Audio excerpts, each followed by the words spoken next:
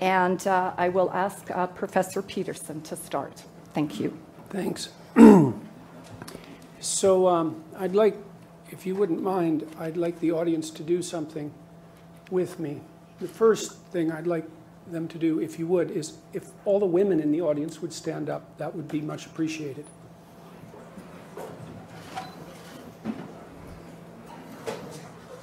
Okay, now, thank you very much. Now, perhaps all the men would stand up. Okay, good. So I did a rough count when I came in here, and I, I, might be out, but I'm not out by much. I think it's about two to one males in here. And uh, I thought I'd point that out because it's, it's kind of interesting to me because I'm a personality psychologist, and this debate is about ideas. And there's a personality trait called openness, which is uh, associated with intellect and creativity. And there are pronounced gender differences in openness, such that men are higher in intellect, which encompasses interest in ideas, and women are higher in aesthetics, which encompasses interest in, well, in art and literature and that sort of thing. And, and it's partly for that reason that men read more nonfiction and women read more fiction. And I just wanted to point out that there was a natural gender divide that occurred automatically and without compulsion in this particular case, in the case of this debate, and that the more our society uh, enforces its increasingly absurd demands for equity upon everyone, the less likely it is that such natural divisions will be able to manifest, them our, manifest themselves in our society in keeping with the pronounced and deep differences between the genders. So I just thought that makes an interesting initial, uh, what would you call it, real world demonstration. So, okay, so about two months ago, I made these videos. Um, I did it because I was trying to articulate my concerns um, um, for a variety of reasons. I've been keeping an eye on political correctness for a long time, and I was also very upset with the Human Resources and Equity Department's decision to make anti racism, so called anti racism and anti bias training mandatory for their staff, which I regard as an unacceptable intrusion into their staff's right to their political opinion, as well as noting that there's absolutely no evidence whatsoever that mandatory anti racism and anti bias training has, its, has the impact that is claimed. In fact, the empirical evidence suggests quite the contrary. When you mandate that sort of thing, you actually make people more prejudiced. It's also based on what I would say is a, a, rather pernicious form of pseudoscience that's being promoted by social psychologists, a group that I have a fair bit of trouble with, and that's being transformed into a kind of educational fascism that has no grounding whatsoever in the empirical literature. Now, what happened as a consequence of making these videos was, um, was really quite unexpected to me. We've, we've been trying to keep count. There's been 140 print articles published about this, um, whatever this is, in the last two months, and then dozens and dozens of, of, YouTube videos and television interviews and radio interviews and demonstrations. Millions of people have been tuning into this online.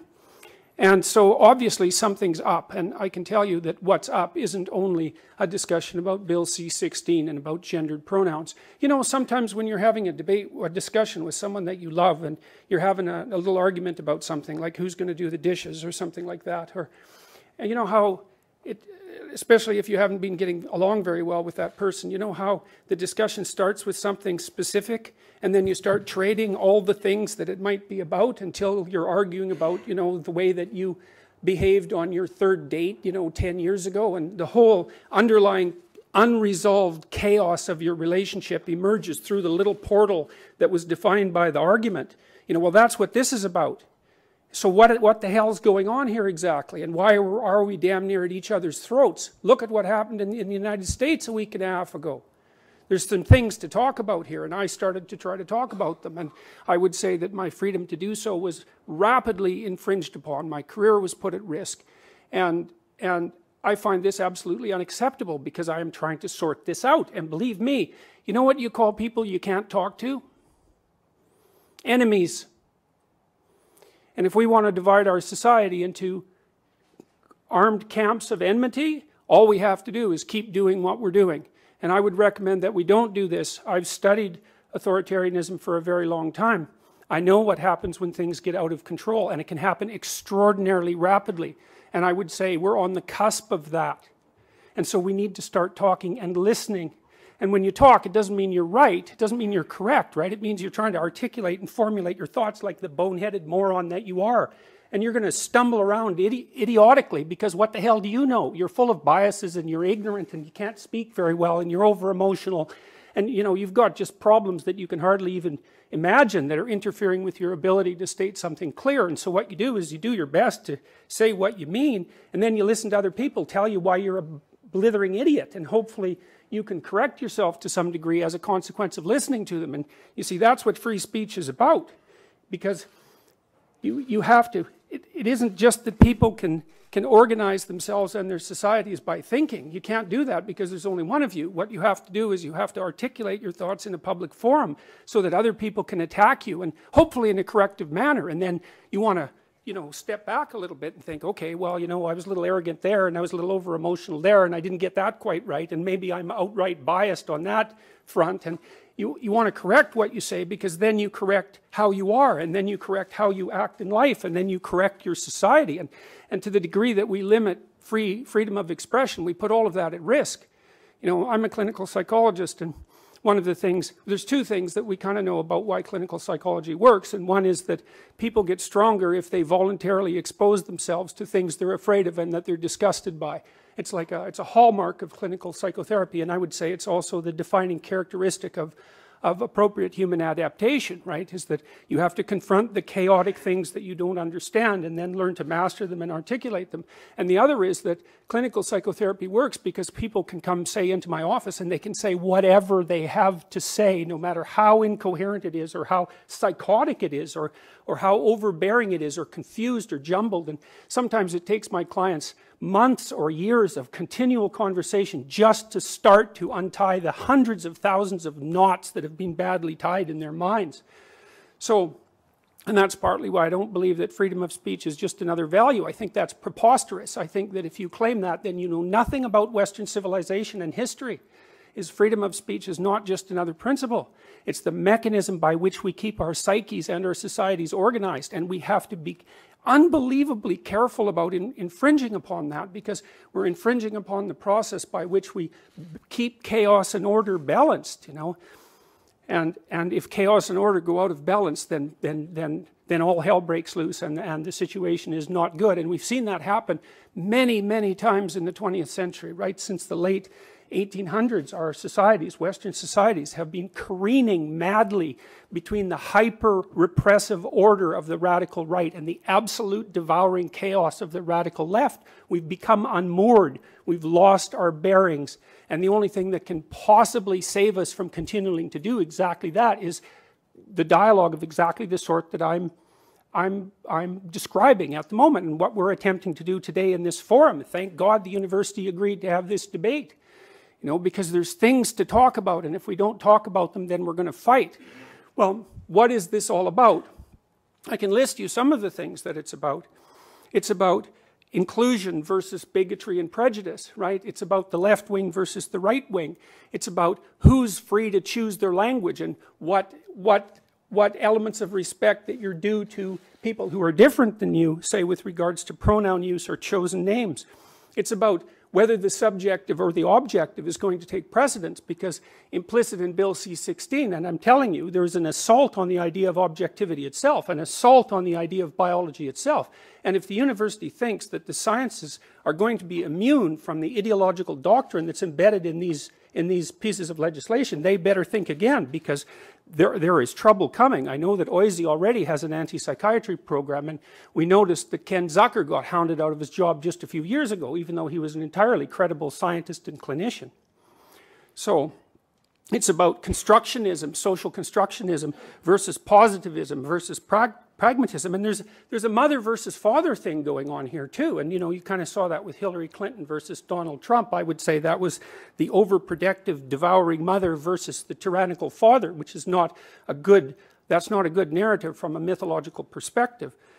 It's about also the adversarial spirit, I would say, versus the logos. That's at the deepest possible level of analysis. And the adversarial spirit is the spirit that claims what I think right now is correct above all else, and I have nothing whatsoever to learn, versus the logos. And the logos is a very complex uh, idea, and maybe the deepest idea of, of humanity, I would say, certainly the deepest idea of Western civilization, and that's that the proper citizen is the person who embodies truth in speech and attempts to act it out. And that also includes listening, because listening is part of communicative intent.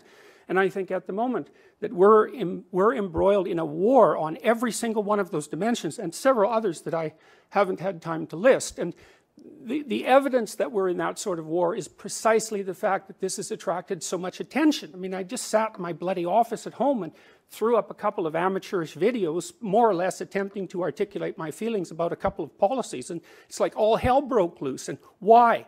Well, because that hell is right underneath the surface. I hate to stop there, but you're at the end of your time. I'm done. So I'm going to read you something that a graduate student sent me from the University of Toronto the other day, and I, I, can also tell you that I've received hundreds of letters like this. Today, I had a tutorial at the University of Toronto where I talked about Jordan Peterson and issues of personal identity, legally sanctioned identity categories, etc.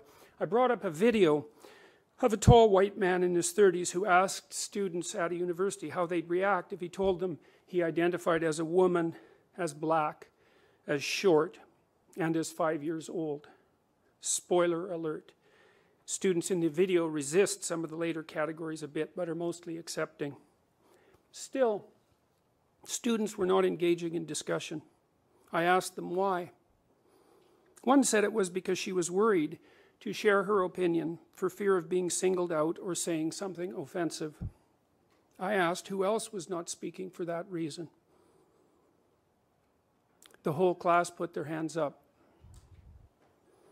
That was shocking to me. I encouraged them to speak despite their worries, and they gave me some good feedback on how to make it easier for them to do so. For instance, by working in pairs and being assigned an opinion so that they didn't have to be responsible for it or feel bad for defending it. No participation. Why? They weren't uninterested. They were afraid to speak their minds. The PC police are in your heads.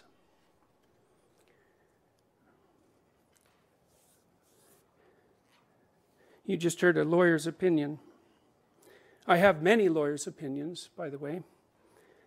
I'll start with lawyer one, who was the counsel to several prime ministers. He talked to me about the Human Rights Tribunal because I went and saw him two weeks after this all started. Human Rights Tribunal is a kangaroo court, in my opinion, and it should be abolished as fast as possible. It's one of the many institutions in Canada that pose a threat to your, to your freedom that, that is of almost unimaginable proportions. Here's what this top lawyer told me. If I'm taken in front of the Human Rights Tribunal, it will cost me $250,000. I will pay the legal costs for my opponents, and I will lose. He said, Go back to your safe little life and shut your mouth. Second lawyer told me, My critique of the Ontario Human Rights Commission is spot on. And absent the Charter of Rights and Freedoms, which has these contradictions built into it that you just heard described, much of what I was saying was illegal and has been illegal since 2012. Lawyer three told me that if I breached a tribunal order, so imagine I was taken in front of the Human Rights Tribunal and I was fined and then I refused to, to pay the fine, which I've stated that I would do. That equals contempt of court, which inevitably means jail until the contempt is purged. He told me the social justice tribunals, and that's the technical name of these essentially extrajudicial bodies in Ontario, by the way, the social justice tribunals. So the PC authoritarian types aren't even trying to hide their terminology anymore.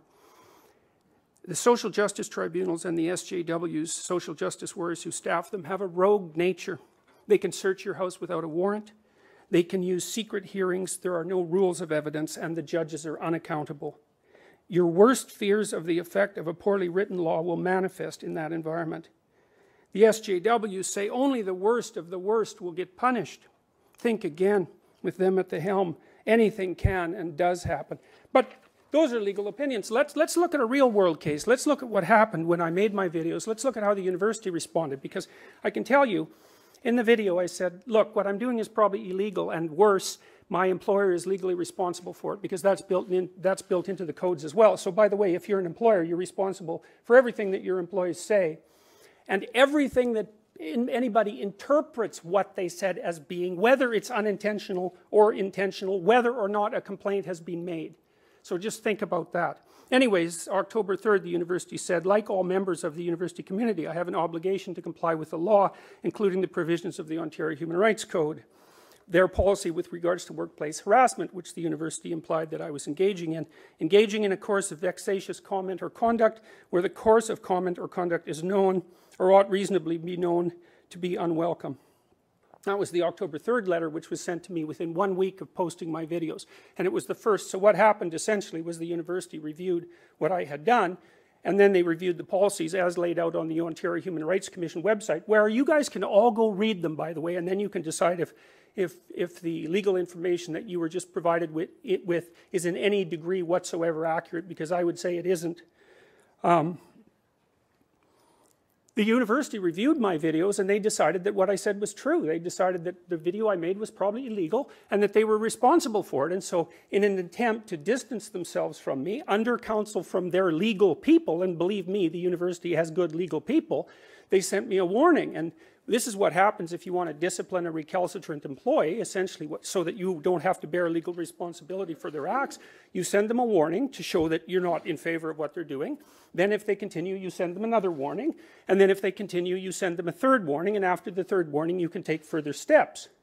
Now, I pointed out to the university at one point when, when um, we were discussing how this forum was going to proceed that perhaps it would be in their best interests to not support the people who are trying to stop me from talking, but instead to support me legally and, if necessary, to take this all the way to the Supreme Court. And the university said categorically that they would not do that. So I would say, when it comes to the contradictory provisions that are in the Canadian Charter of Rights and Freedoms, and so we might say roughly equality versus freedom of speech, the university decided which side they're going to go down on.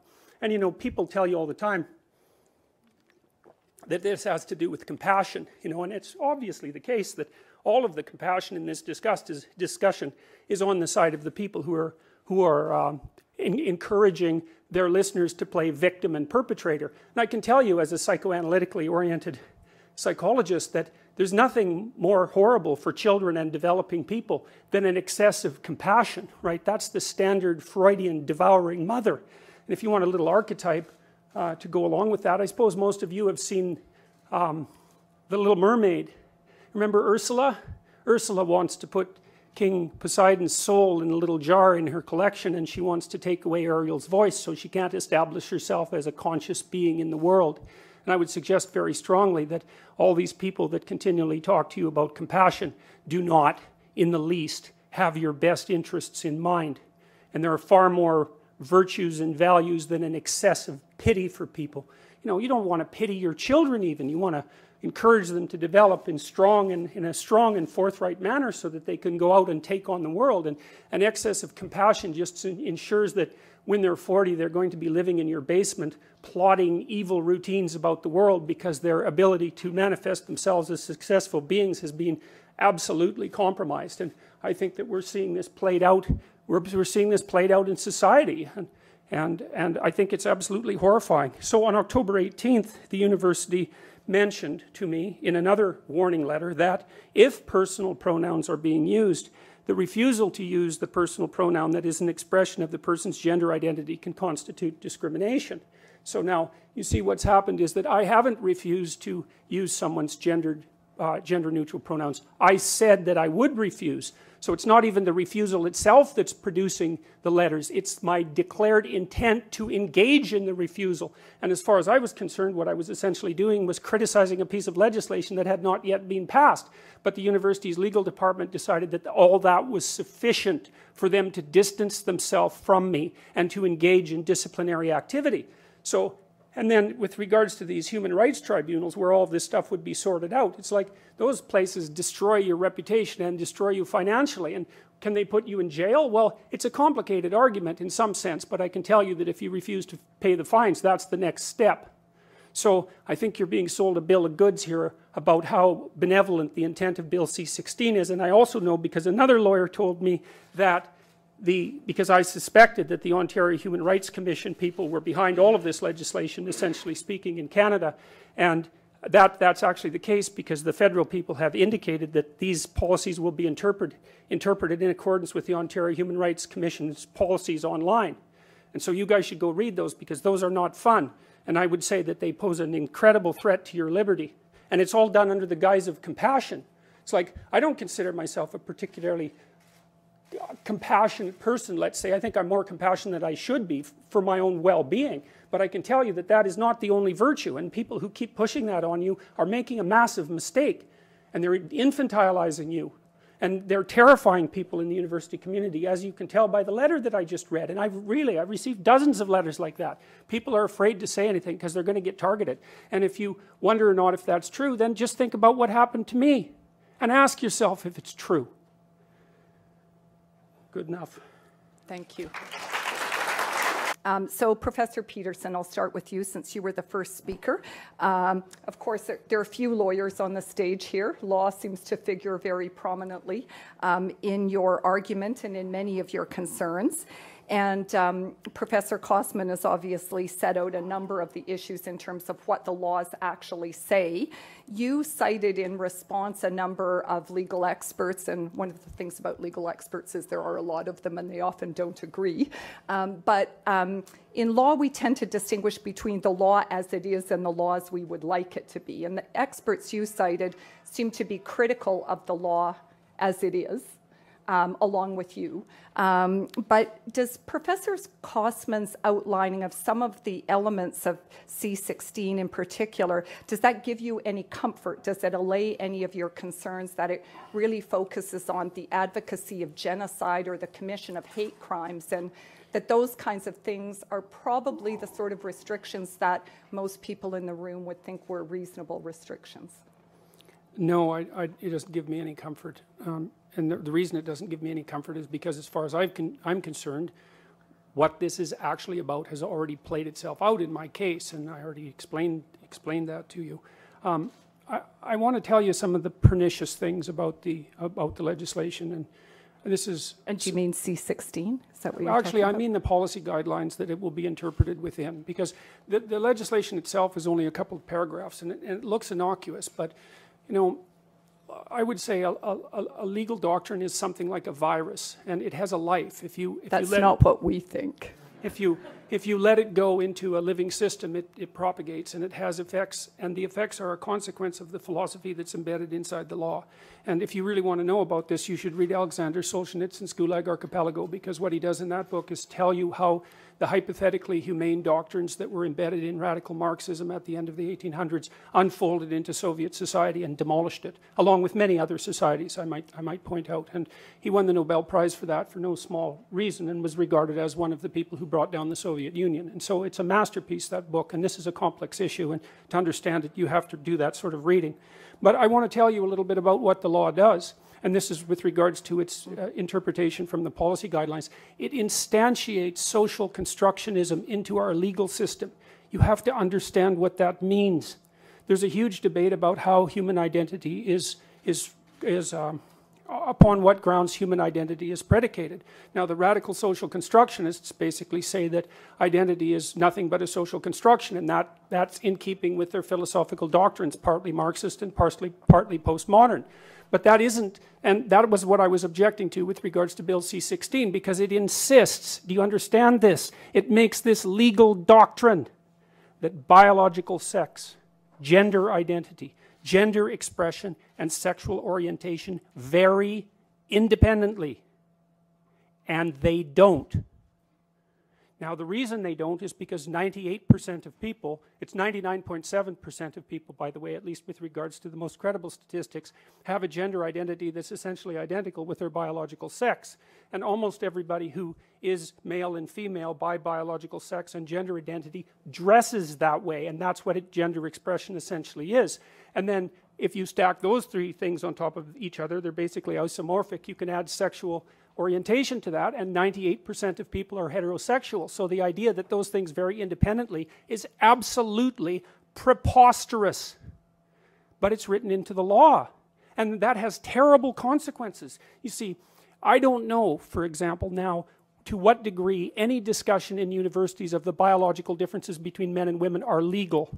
And you think, oh, well, that's an exaggeration. It's like, well, they, I debated Nicholas Matte, I believe that was his name, a professor at the University of Toronto on TVO's The Agenda, and he said right out for everyone to hear that the scientific consensus is that there's no biological differences between men and women. And I've received letters from people who've told me that now the social justice activist types are complaining about the fact that the biologists assign biological sex to animals because it's only a social construct that we're projecting onto their being. And, um, you know, we just heard that the, the chromosomal level of analysis is complex. It's not that complex. What we have is a bimodal distribution with a tiny number of exceptions. And that, by the way, is not a spectrum. You see, so these Professor words. Peterson, sorry, we're at the end. Oh, yes, yeah. You'll, you'll have other questions. No problem. Um, the law has been regulating social constructionism and social constructs since there was law. Um, language, nationality, religion, citizenship, family, marriage, there's no there there. They're social constructs. Um, our, our social constructs go to the very root of our common law tradition. Property, property law. Okay, sure, property exists, it's there, right? But the idea that we own it, the idea that we own property is entirely socially constructed. Um, intangible property, futures, contingent liabilities, where are they? I can't feel them. I can't feel them. They're, where are they? They're socially constructed. These are the things that law regulates. Um, let me talk about one that you know that Professor Peterson is is quite fond of: um, the right to freedom of expression. This is entirely a social construction of the Enlightenment. It didn't exist before the Enlightenment, um, of humanism and of liberalism. It depends on our understanding of democracy. It depends on our understanding of what a right is.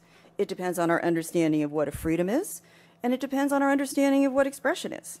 Um, the idea that the law regulates social constructs is beyond irrelevant.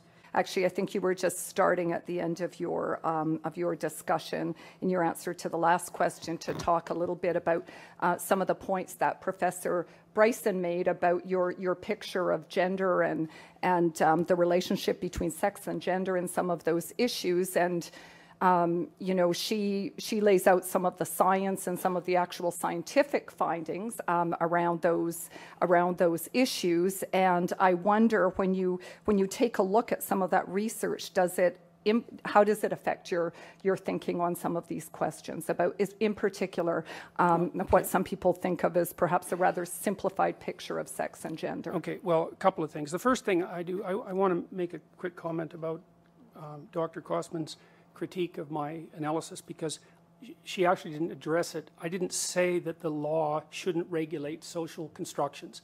That's what the law does. That's what she said. That isn't what I said. I said that the law now builds in a social constructionist doctrine into the fabric of the law. That's not the same thing. Obviously, the law regulates property rights and all of that, and to some degree, those are social constructions, although not to the degree that she claims. But this is a whole different thing. This builds in a philosophy of identity. And one of the things it builds in, for example, is the claim that identity is only subjectively defined. And that's built right in. It says that. Your identity is whatever you think it is. Well, let me tell you, as a practicing psychologist, that's absolute rubbish. Your identity, to, look, when, when children are two years old, that's what they think. They think that their subjective reality is everything. And what you do is you socialize them between the ages of two and four to adopt uh, an identity that's part of a cultural negotiation. It's like your identity is part of a cultural negotiation. It's partly the game you play and partly the game that I play with you, and I have to be a voluntary participant in that. And not only, not only is it not subjectively defined, which detaches it entirely, by the way, from the underlying biological and the underlying objective reality, making any claim you want for your subjective identity valid. The other thing it does is um, it, it completely obliviates the idea that identity is actually a pra pragmatic entity, for God's sake. It's like if you're a lawyer or a father or a mother, like an identity that has some solidity to it. Say, well, for most lawyers, anyways. So, um, sorry. I couldn't help it. We're used anyways, to it. um, your identity is also a vehicle within which you travel through life, right? It's a set of tools, a set of pragmatic tools that you use to interact with the social and the natural world. It's not only your subjective whim. So, okay, and so, and with regards to the science, it's like, really?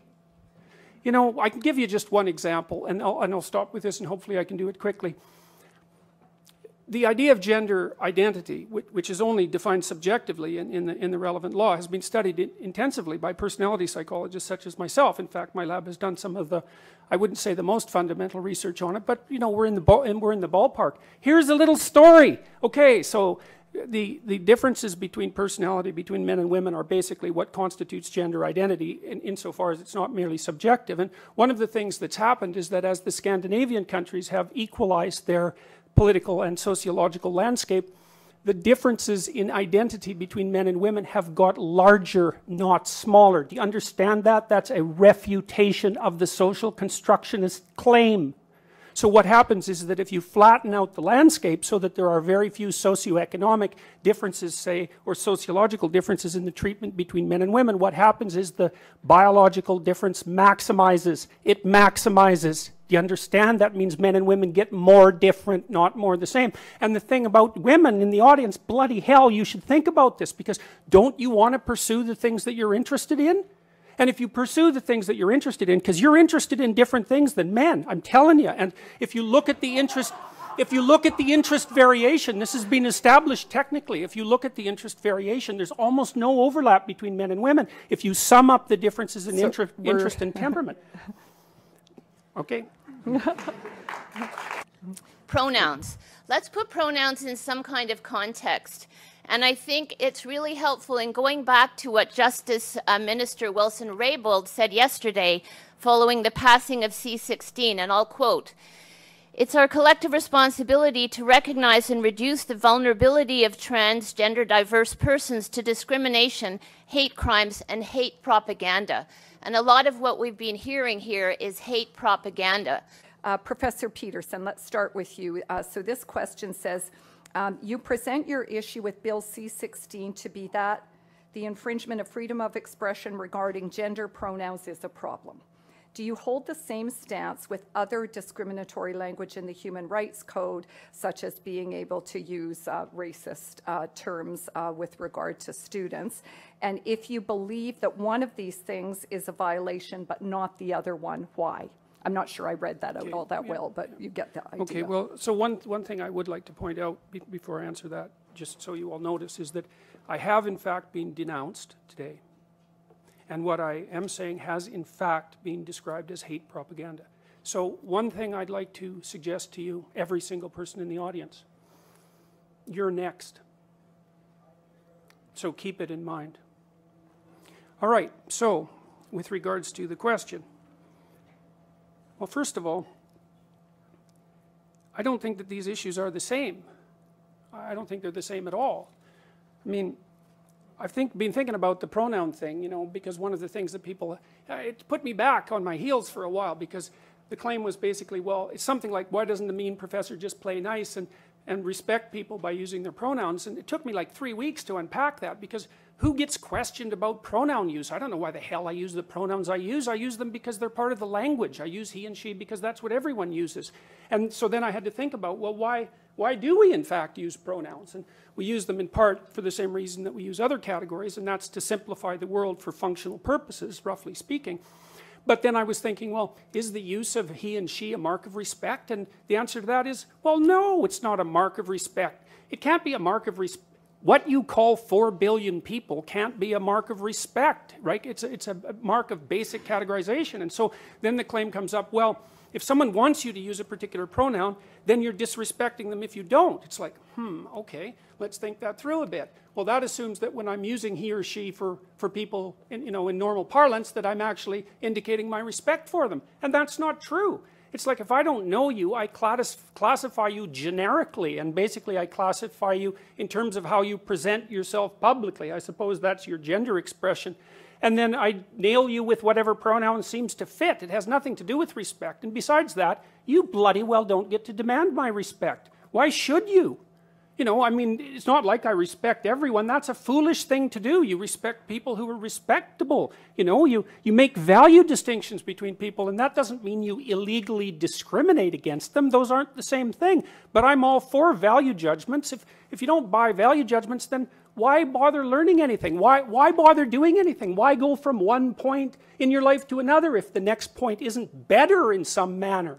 So don't tell me that I'm not respecting people when I don't use their gendered pronouns. And the other thing is, I don't buy this whole idea that the people who are putting this legislation forward are valid representatives of the trans community. That's what they say they are. We have mechanisms for deciding whether someone's a valid representative of a community, and that generally involves democratic voting. I've received at least 20 letters from transsexual people who are on my side, and by the way, zero from others, believe it or not, who are perfectly happy with the idea of gendered pronouns. It's just they want to be the other one.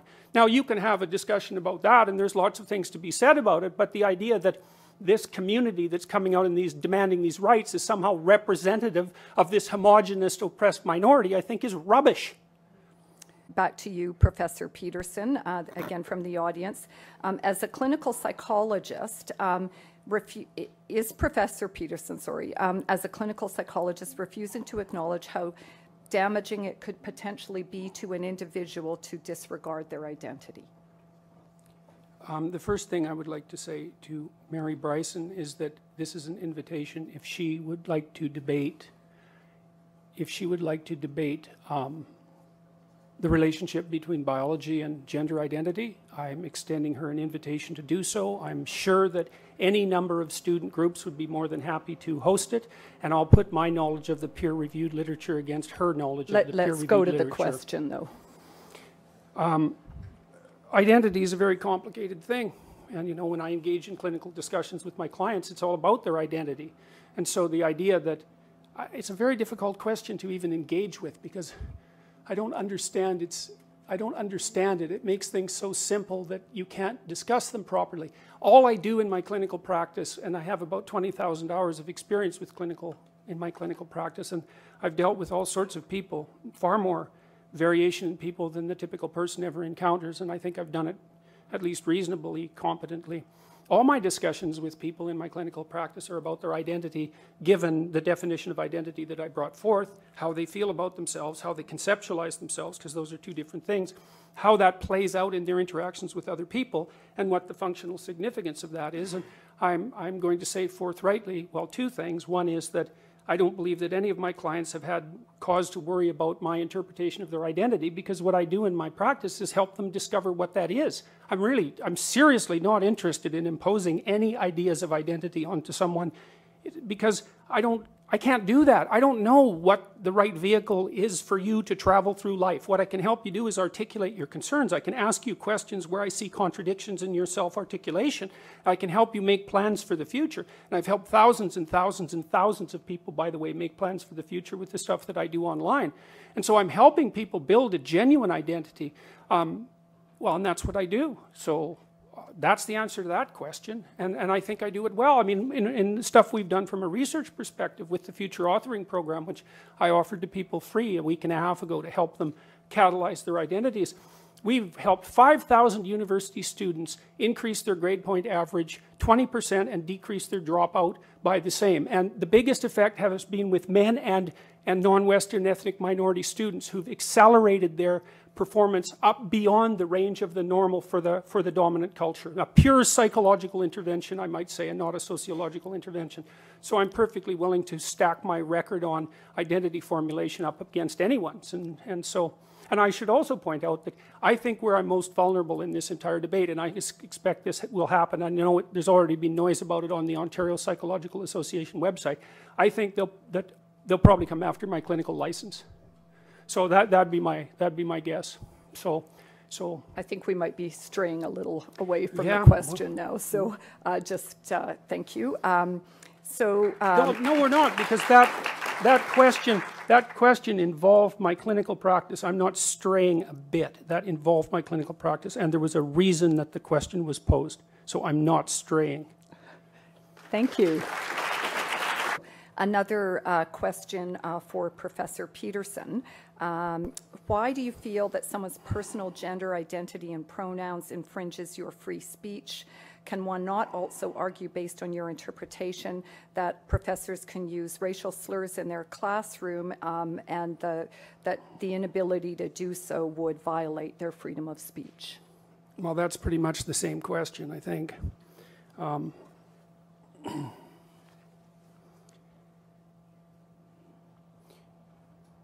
I think that we're crossing a dangerous line, and the line is the requirement that's being put upon people by government agencies with the full force of the law behind them to decide what language categories you're going to use. Now, I think that's a form of compelled speech, which has a technical meaning.